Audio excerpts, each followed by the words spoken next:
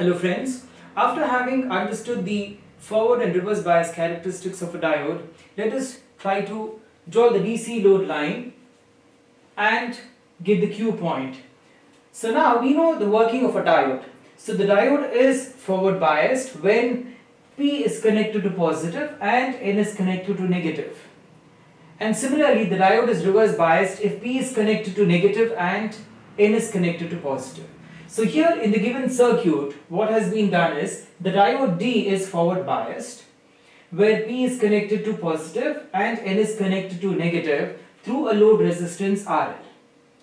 Now in that case, let the voltage across the diode be Vf and what is Vf? Vf is equal to the cut-in voltage or knee voltage which is approximately equal to 0.7 volts in case of a silicon diode and let If be the current flowing in the circuit so therefore the voltage across and the voltage across RL be VL and what is VL? It is nothing but equal to the current IF into the resistance RL.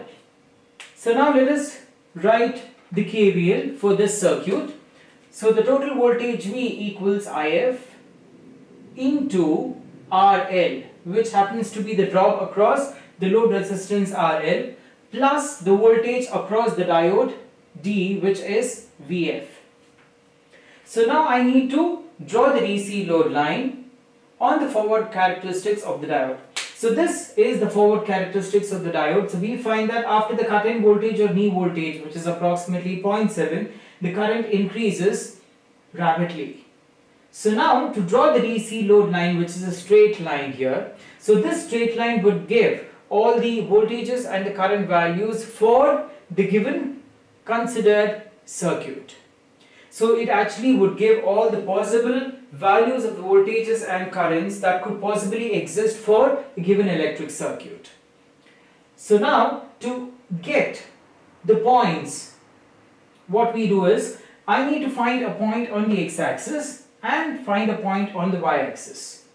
So to find a point on the x-axis, I need to make IF with 0, where the x-axis is VF and the y-axis is IF, which is the current flowing across the diode and VF is the voltage drop across the diode.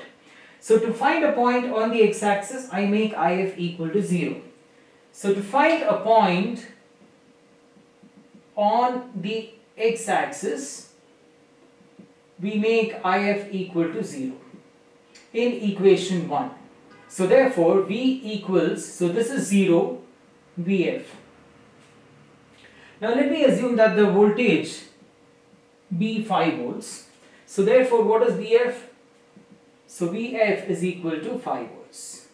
So Vf is equal to V which is equal to 5 volts. So I get a point on the x-axis which is 5 comma 0. So after having got a point on the x-axis, I need a point on the y-axis. So to get a point on the y-axis, I need to make Vf equal to 0.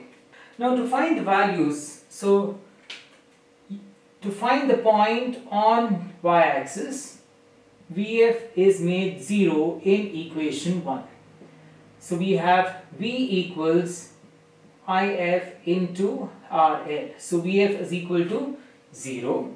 And what is IF? IF is V by RL. What is V? V is 5. So let, let us choose a value of RL. So let me assume that RL is equal to 50 ohms. So I have 5 by 50 which is equal to 100 milliamperes. So I have y-axis in milliamperes. So there is a point 0 comma 100 milliamperes. So this is the point on the y-axis. This is of course 100 milli which has been indicated here. So I have a point along the x-axis which is 5 comma 0. I have a point along the y-axis which is 0 comma 100 milliamperes milli of course. So join these two points and this represents the DC load line. So what is the DC load line? The DC load line is a straight line which is drawn on the VI characteristics of the diode. So now if you observe this DC load line intersects the forward characteristics of the diode at one. And this point is referred to as Q point or the quiescent point. So in general, to get this straight line representation from this equation, we observe that what is VF? VF is nothing but X. So instead of writing the horizontal axis as, as X, I have written it as VF. Instead of writing the y-axis as IF, I have written the vertical axis as y-axis, I have written it as IF. So I have VF instead of X and IF instead of Y. So we know that the equation of a line is nothing but Y equals mx plus C. So I need to get this equation 1 in this format. So we have IF into RL equals, so let me take this to LHS on the other side. So I get V minus VF, isn't it? So I have IF equals, so I bring RL to RHS here, minus VF by RL plus V by RL. So therefore I have IF equals minus 1 by RL into VF plus V by RL.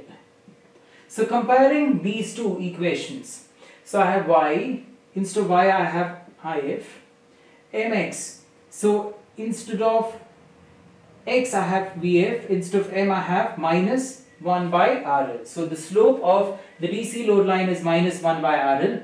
And what about C? C is V by RL.